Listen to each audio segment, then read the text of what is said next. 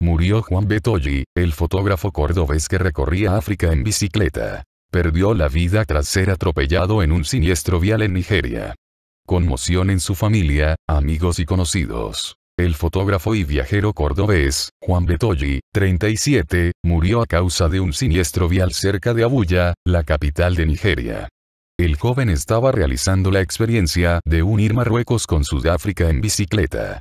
El trágico desenlace ocurrió el 16 de agosto, sin embargo la comunicación a su familia por parte de Cancillería ocurrió unos días más tarde. Las primeras informaciones a las que pudo acceder su círculo más cercano indicaron que un automovilista lo atropelló de atrás en un ruta alrededor de las 15. Su cuerpo está alojado en la morgue de un hospital universitario a la espera de que culmine un proceso judicial y se le permita a la familia repatriar sus restos. Pedimos celeridad a Cancillería para tener a Juan Ignacio con nosotros, solicitó su mamá, Carmen Buteler. El fotógrafo y viajero cordobés, Juan Betoji, 37, murió a causa de un siniestro vial cerca de Abuya, la capital de Nigeria.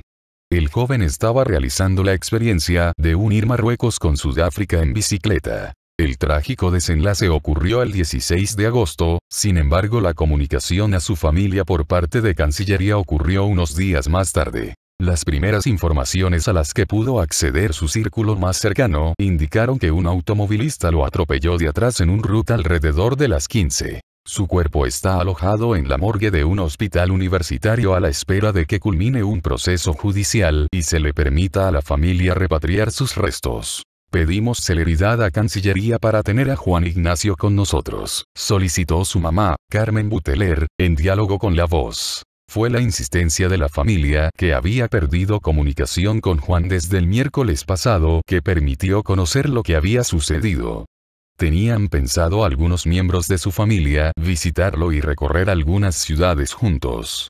En los próximos días sus hermanos y dos amigos de Juan viajarán a Nigeria para volver con sus restos y pertenencias. Este medio se comunicó con la Embajada Argentina en Nigeria para conocer más detalles de cómo ocurrió la tragedia, sin embargo las autoridades diplomáticas advirtieron que la información fue puesta en conocimiento por Cancillería únicamente a la familia. La palabra de su mamá. Su viaje terminó antes de lo que esperaba y de una forma terrible, dijo Buteler a la radio.11.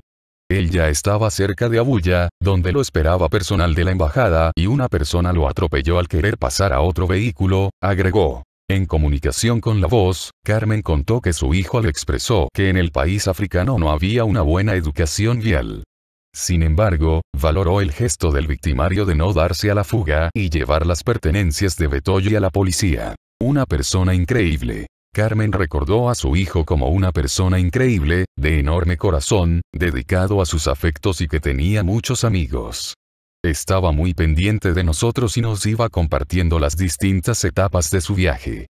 Como contó en una entrevista con este medio, Betoy había encontrado en sus viajes su motivo de vida, alojándose en las casas de personas desconocidas, contando historias y viviendo la experiencia de la sencillez.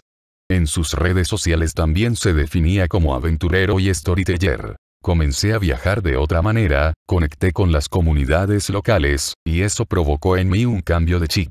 Los problemas que creía que eran problemas ya no lo eran, había contado a este medio. En otra demostración de cariño, el Colegio de la Inmaculada Office, donde Betoy cursó sus estudios, emitió en sus redes sociales un comunicado por su muerte. Soñador en grande, intrépido de alma y viajero incansable, un accidente lo topó en su cruzada en bicicleta por África.